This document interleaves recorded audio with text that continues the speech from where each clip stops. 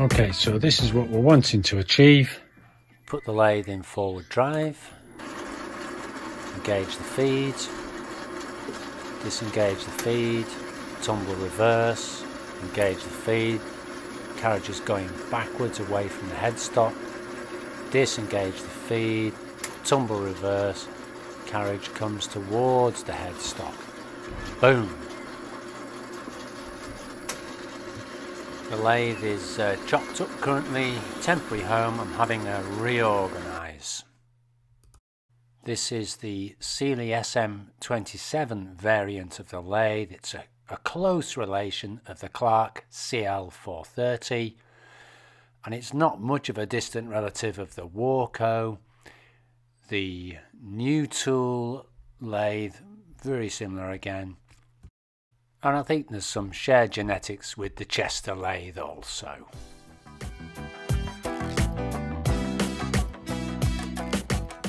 It's a slideshow from back in the day before I had video, or I worked out how to use it anyway. Okay, so you bright boys have taken off the chuck uh, and ripped out the spindle with the bearings, the hoogie and the bits and bobs. The parts diagram online easily available but no blueprints to give you measurements so you can see how it comes to pieces but you have to measure it yourself. In a straight gear chain the input and output gear determine the change in speed. Intermediate gears only change the direction of rotation. One intermediate idler gear reverses the direction two gears maintain the direction. With limited space I had to come round the head to make essentially two gear chains. I made a Frankenstein mock-up for the gear carriage for feasibility. By moving the lower fixed gear chain stud and pivoting around it, uh, the plan was hatched. The casting was rough with the bare minimum of machining for function. I couldn't find blueprints online, so I measured relative positions with uh, calipers and rulers. On this metric machine, I would expect whole number metric measurements. I have seen a complex gearbox fabrication slotted into the space under the lead screw drive selector that was very complicated and not feasible. Another scheme had an idler which you took in and out but wasn't permanently fixed.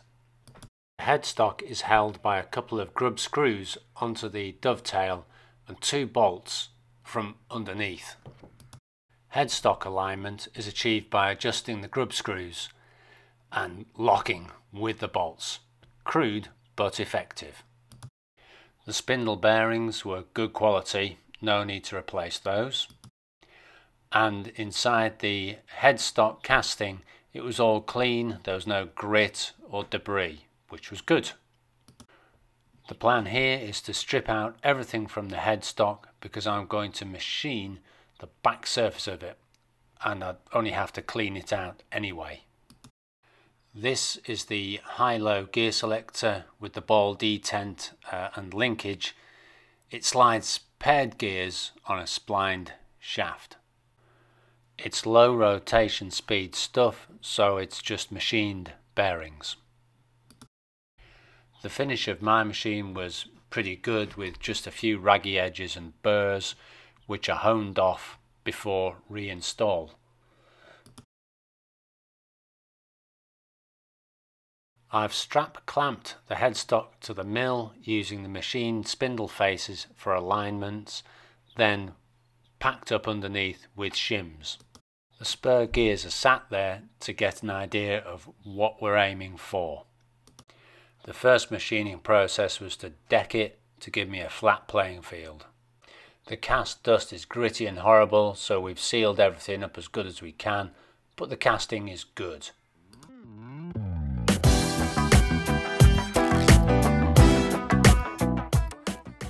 I've milled a new location for the lower gear chain fixed stud. The flange size is reduced to stay within the outer edge, there was enough meat to uh, prevent perforating the casting.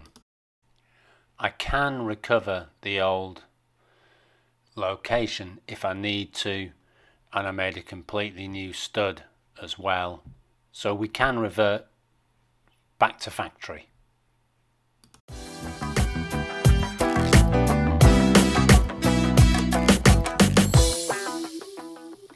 Rebuild the headstock on the bench, put the headstock back on, align the spindle with a Morse taper test bar and clock gauges, that takes time. For the jockey wheel support plate, we've cut away the corner and reinstalled it. I now made an accurate template for the carrier plate. It had to rotate, stay in one plane, hold pinions uh, for the gears to run true, so gauge plate was essential. To get the idler gear positions, I put the whole thing together, superglued the idler gears in the correct place, then drilled through. I made a new stud for the lower gear change banjo. I drilled and cross drilled it for oiling. This is the headstock side of the carrier plate with the sprung latch uh, installed. Somewhere around here it starts to become a bit of a brain tease. There's heaps of bits, but if you go at it one by one, it eventually all comes together. The spare gears I bought, I had to reface them because they were too thick. I bored some of them out, uh, made press fit bearings that went on pinions all fiddly, none of it was drawn out. By this stage, I'm just fiddling it and winging it, making it work, but the concept was sound.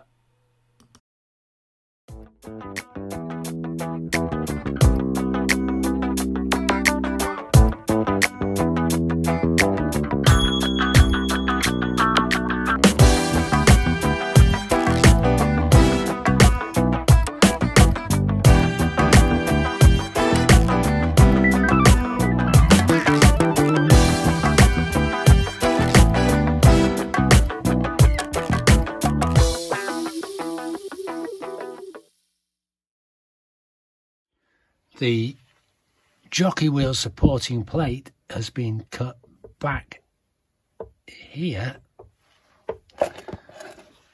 to allow room for the tumble reverse plate to swing into.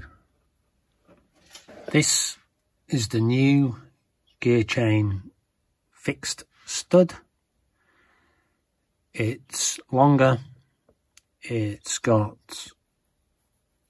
little thrust bearing in there. The original, the gears were held on with a, a little C-clip. It was cross-drilled with an oiler on the end. The new one's cross-drilled with an oiler on the end and we can return the machine to the original configuration if we want it.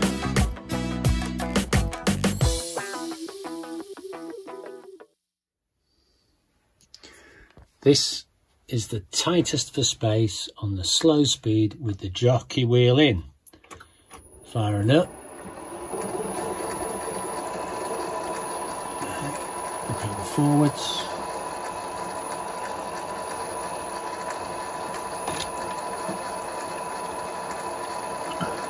Reverse, tumble forwards. Here's the long belt in the worst position for the gear change. Now we're going a bit quicker now? Whoa, oh, wait a minute, boys. Right. Change direction. Change direction. So we've got room see our let's see where we go here. Well, that's coming towards me at a fair lick.